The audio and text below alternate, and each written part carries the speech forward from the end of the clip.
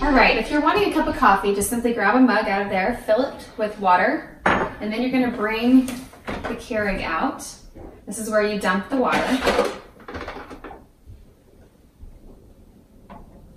Simply dump it in, close it. Make sure you put your cup right there.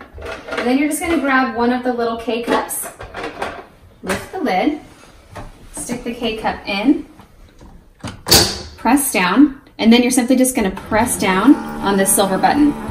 Make sure you wait a couple of minutes because the water's gonna go down and heat up, but within two minutes you should have a nice cup of hot coffee.